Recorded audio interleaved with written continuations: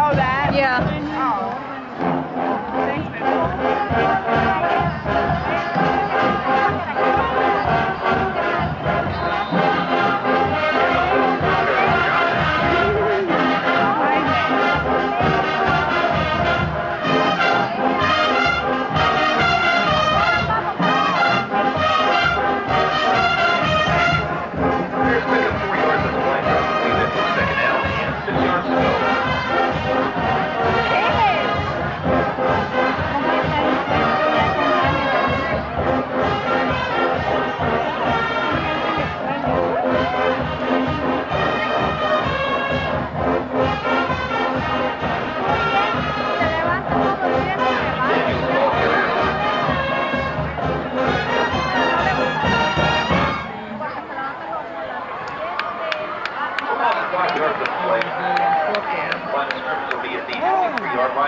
Bears with third down and 11 yards to go.